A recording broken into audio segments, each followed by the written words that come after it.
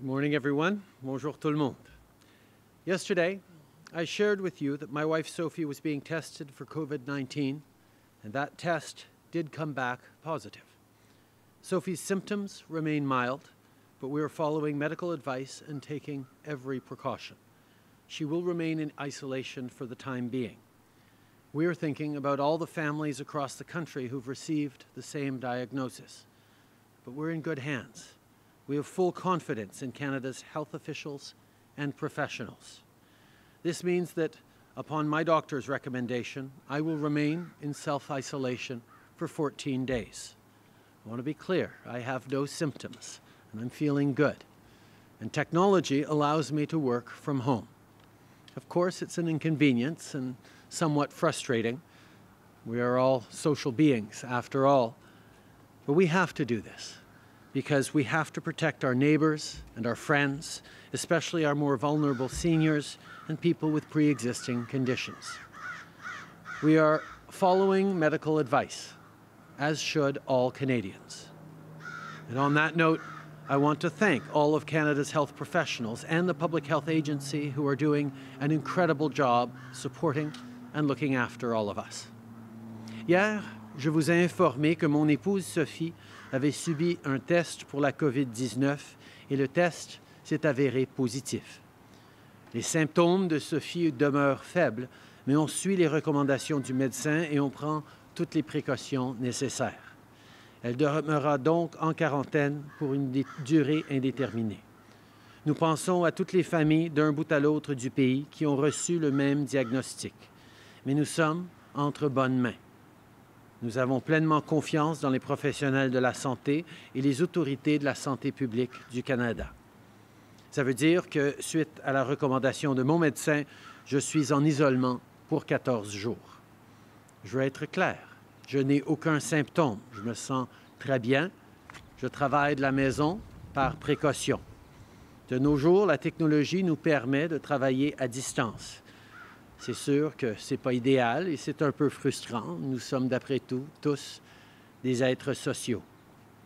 Mais c'est ce qu'on doit faire pour protéger nos voisins, nos amis, surtout les personnes âgées, les plus vulnérables et ceux qui souffrent de conditions de santé. Nous suivons l'avis des médecins comme tous les Canadiens devraient faire en ce moment.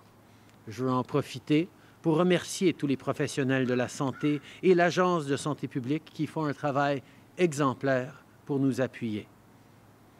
Je veux maintenant vous faire part des démarches que le Canada entreprend pour assurer votre sécurité et protéger votre santé. Hier, je me suis entretenu avec plusieurs dirigeants internationaux, dont le président Trump des États-Unis, le premier ministre Johnson du Royaume-Uni et le premier ministre Conte de l'Italie. J'ai également participé à la rencontre du comité spécial du cabinet sur la COVID-19 et j'ai tenu une rencontre téléphonique avec le ministre des Finances sur la situation économique actuelle. J'ai aussi eu la chance de faire le point avec le président et chef de la direction de la Chambre de, de commerce du Canada et le président du Conseil du travail du Canada. Ce matin, j'ai participé à une rencontre du cabinet et j'ai parlé au président Macron de la France. Mes conversations se poursuivront dans les prochains jours. Plus tôt aujourd'hui, les ministres Blair, Haidu et Garneau ont annoncé que le Canada recommande aux Canadiens d'éviter les, les, voyages non essentiels à l'extérieur du pays. Nous avons également annoncé que la saison des croisières était suspendue jusqu'en juillet et que nous allons rehausser encore davantage les mesures de sécurité dans les aéroports. Nous rationalisons également les arrivées d'outre-mer afin d'être mieux en mesure de les contrôler.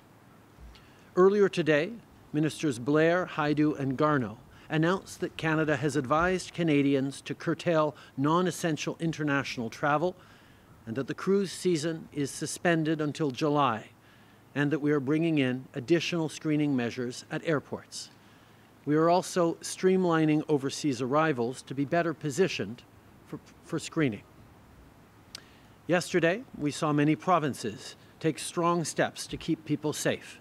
They are doing what needs to be done to protect the public, and I want to thank them for their exemplary work. Later today, I will have a call with the premiers and Indigenous leaders to discuss the latest developments and coordinate our efforts, including the over billion dollar COVID 19 response fund, which provides money to the provinces and territories to support preparation and mitigation. These are significant steps, and we will do more. The provinces and territories are facing various levels of risk, but we will make sure that we align our response across the country. Addressing COVID 19 must be a Team Canada effort. To keep Canadians safe, to mitigate the economic impacts of the virus, all levels of government are working together. We are talking regularly. We are coordinating our efforts. We're following the situation very closely, and we're pulling out all the stops. I know that you're worried.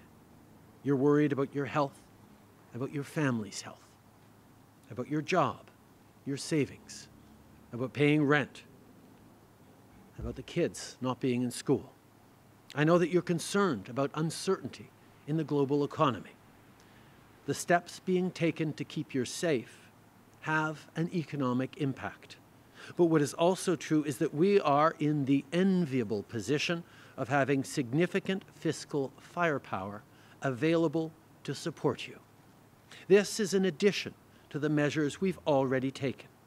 The finance minister is also in constant communication with his international counterparts to find ways to work together to mitigate the impacts of the virus on the global economy. He will have further announcements shortly this afternoon. The agreement we reached with other parties to suspend the House today also still gives us the flexibility to do the things we need to do in order to support Canadians. No one should have to worry about paying rent, buying groceries, or additional childcare because of COVID 19. We will help Canadians financially. The Government of Canada will be introducing a significant fiscal stimulus package in the days ahead. Le gouvernement du Canada annoncera des mesures de relance fiscale importantes au cours des prochains jours. Je sais que vous êtes nombreux à être inquiets.